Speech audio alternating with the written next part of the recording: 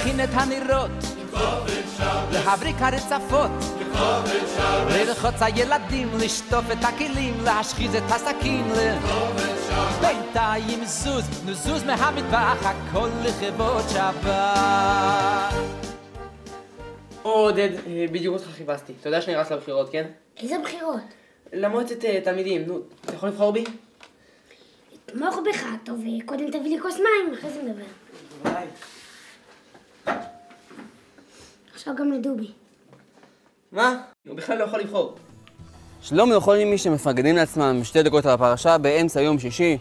רגע לפני שכל uh, השלטים והסיסמאות uh, ייעלמו מהרחובות ונשכח שהיו פה כל מיני בחירות מקומיות ברחבי הארץ, אנחנו חוזרים לשבת אחת לבחירה המשמעותית הראשונה בעם ישראל, הבחירה מי תהיה האישה שתיכנס לבית אברהם ותוביל את עם ישראל, תצטרף להובלה של עם ישראל שיוצא לדרך. היה אפשר אולי להגיד שבבחירות האלה היה איזשהו אינטרס אישי, רבקה מזהה שמגיע איזשהו איש זר מבחוץ והוא נראה מכובד עם המון אה, נכסים, אז אולי זיהתה שהוא אה, מחפש אה, למישהו.